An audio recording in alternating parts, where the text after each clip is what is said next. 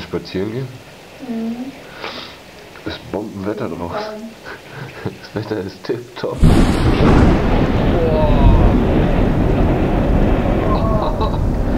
Also den habe ich gesehen.